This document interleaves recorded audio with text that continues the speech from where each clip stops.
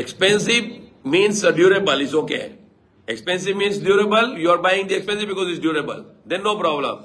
But expensive to show off. What is the Louis Vuitton bag? 200,000. 2000 pesos you can buy the leather bag also. 3000 pesos leather bag. Why you buy the 200,000 just for the brand? Oh, you can show, okay, I have a Louis Vuitton.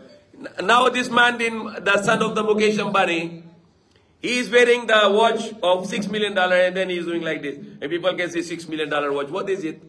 It is show off. Show off. Six million dollar watch. Six million dollar. You can feed million people. You can feed million people, but just to showing I am wearing six million dollar watch. So that is a very bad attitude of shaitan to show yourself superior to others. So that is the one things now. Example, there is a shoes, basketball shoes. They just put the Michael Jordan name. Now it becomes $500. But this is made in China, the same factory. Same factory make these shoes in Hong Kong.